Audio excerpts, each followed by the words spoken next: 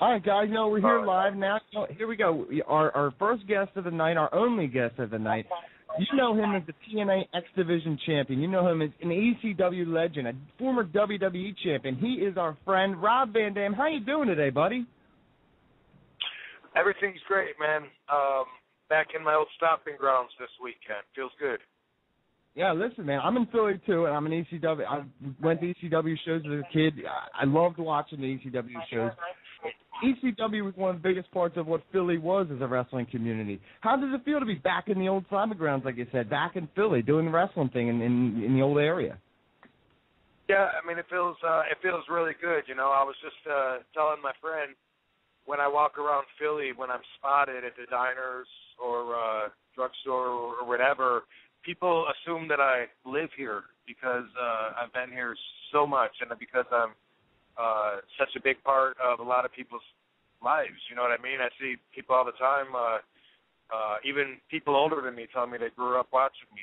So I'm used to, I'm used to uh, being pretty impacted on the on their lives, and that's great, man. This is Philly. This is where everybody wants to wrestle. Yeah. Also, well, talk talk about the show in Philadelphia. You got a TNA show in Philadelphia Saturday at the Tower Theater. It's it's actually a normal theater for for plays and such. I don't know how TNA is going to put on a wrestling show now. Have you been inside the facility, and what do you expect from a, a, a match inside Philadelphia again? Uh, I don't know that I've been to this particular venue. I know that I have been in Philly uh, at a few random different venues over the last uh, few years. Of course, uh, you know we did the uh, uh, the ECW arena back in the day, and then of course when I was with WWE, we did the uh, the bigger uh, stadium. What was it? Named after the bank, not Wachovia. First Union? No. First, um, uh, I think it's Wells Fargo now. Yeah. Okay. So so there's that, and uh, I've been here with TNA. We did something. I think it was um, on the college or something. Uh, the Temple. Center. So yes. this might be this this might be our first time. You know, it, it's that's the thing about wrestling though is you get uh you get you're you're the band all over the place. There's not a town anywhere in the country where they wouldn't like to see wrestling. So when they can when they can book it and coordinate it and make it happen, the fans will come out. I've wrestled in I've wrestled in barns. I've wrestled outside in a lot of uh, ballparks, and uh, I don't know what the uh, Tower Theater is like, but I'm sure it's been checked out, and I'm sure they sure that they feel it's uh, it's up to standards. And I don't know how many people it will hold, but we're going to try to pack it. Oh yeah, it is a very small venue, and, and you know what? The, the, the thing about it is, it's very intimate. And that's one thing that ECW brought to the fans. You felt like you were what you weren't so you weren't secluded away from the stars. You were part of the action, and that's what the Tower Theater is like. What, what do you feel the advantages of a small venue are to the bigger places like the Wells Fargo Center, to, as compared to ECW Arena and stuff? Well, you said it right there when you you said the the intimacy, that connection that we have with the fans is uh it's uh it's something that's like irreplaceable. Um like you said back in the ECW days, you know, the, the fans were part of the show. They were a big part of the show. And uh it was our our connection and uh relating to them uh and, and them relating to us it was that interaction uh, that that made the whole show. So spent some years in the. Oh, are you still there? I'm sorry, someone's calling on the other line. Yep. Hello. Okay, you're still there. Yeah, I'm here. Anyway, yes. Sorry, dude. The phone's making some weird noises.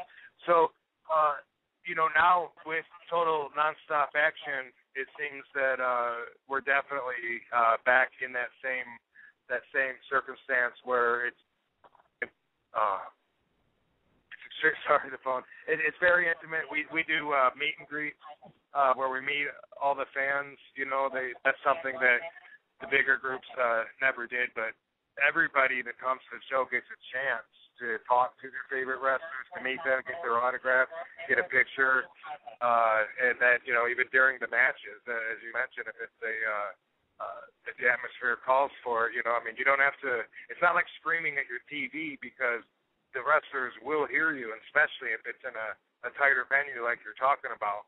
Uh, we're we're connected to the fans the entire time, and therefore they're connected to us as well.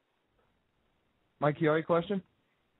Uh, yeah, Rob. Uh, you've been a main event guy for much of your career, obviously. Uh, ECW, WWE, TNA. Uh, but right now in TNA, you're currently the X Division champion, and you've been mixing it up with some of the younger guys, uh, specifically uh, Kenny King and Christian York uh, of late. Uh, I was wondering, do you enjoy facing this up and coming talent, or do you maybe sometimes find yourself wishing you were contending for the world title instead of that? Well, I'm having fun as the X Division champion right now. Um, it, I do find myself wrestling a lot of the uh, younger, newer guys, guys that I haven't been wrestling all over the world for many years. So uh, I do notice a, a big difference in the in the chemistry, but I accept my position. You know, these guys modeled themselves after me. They they watched me stand out, and they wanted to stand out that way. So that's what the whole X Division is about.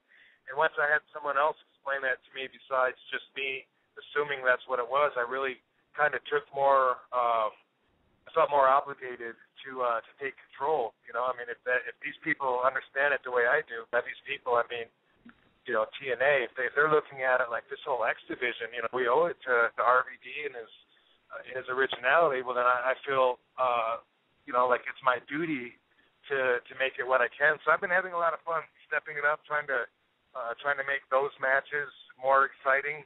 You know, I've said I've said my my whole career. Uh, I'm happier uh, when I'm in the hardcore environment. You know, I'm out there to show off. I got a lot more to show, and uh, throw the rule book out and, and give me the whole arena, give me all the furniture, and the toughest guy ends up winning at the end of those matches, which that's uh that's a big advantage for me. So going for the heavyweight strap, you know, that that's that's cool. Uh if it if it does uh if it comes to that, you know, then I will uh I'll accept my position in that as well. But right now I'm kinda feeling like I can make this X division mean a lot more than it meant before RVD won the title, and that's very important to me.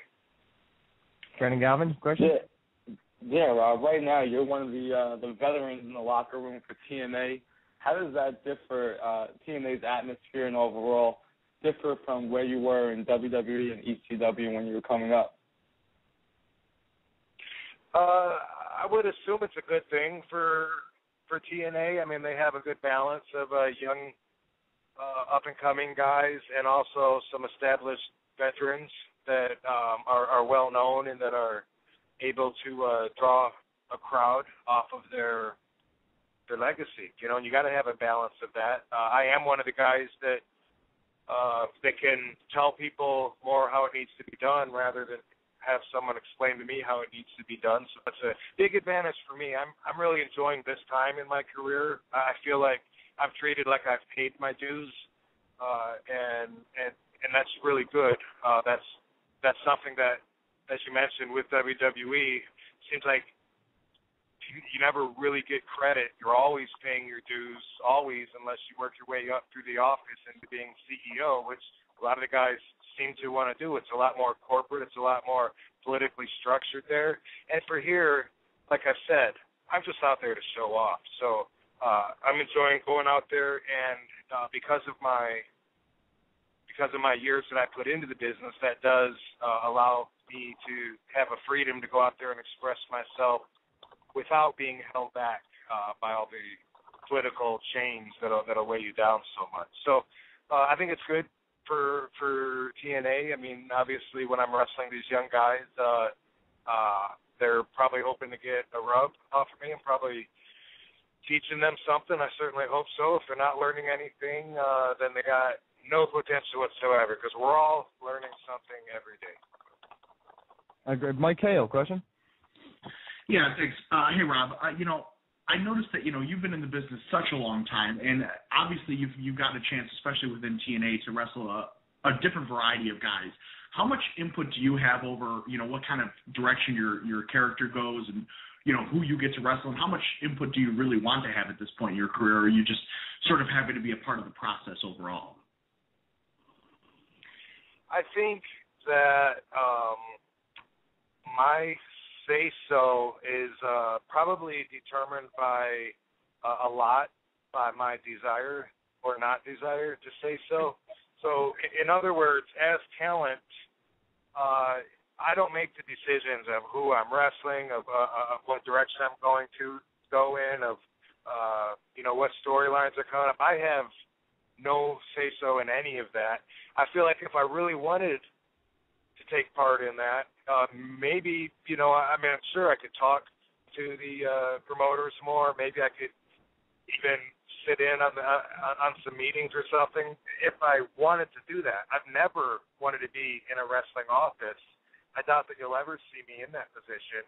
Hmm. Uh, I never want to be in charge of other people's lives and and, and, and me determine how much food they get to put on the table for their families and stuff. I've always thought that uh, that that's a job that uh, I, I never envied, and and I like just being talent. So basically, uh, they make it they make it as easy and as comfortable for me, uh, pretty much as they can. So they give me uh, they tell me who I'm going to wrestle, and then uh, I can you know pretty much take it from there. And I think they know me well too. They go out of their way to to learn uh, the wrestlers, to learn about them, about their their preferences, their habits, their what they do throughout the day, uh, and they know that. So so most of uh, what they what they ask from me doesn't uh, doesn't conflict with any of that. You know what I mean? So uh, I'm there. I'm there if they need me. You need me to go down and uh, do a photo shoot. Uh, you need me to do some interviews uh, uh, for some uh, markets uh, coming up, some TV shows. You need me to need me to do a promo for the pay per view for uh, Germany, uh, I'm there for that. But as far as uh, sitting in and deciding, you know, oh, this is what this is what we should do with this guy, this is what we should do with me, no, I don't want any part of it.